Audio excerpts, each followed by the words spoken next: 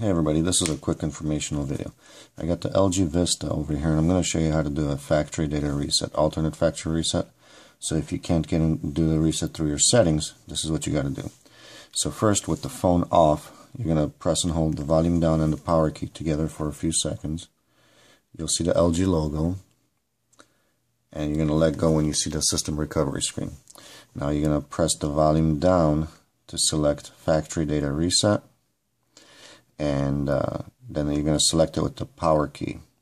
And then uh, make sure you highlight yes with the volume down tap select it with the power key and now it's going to start resetting the phone.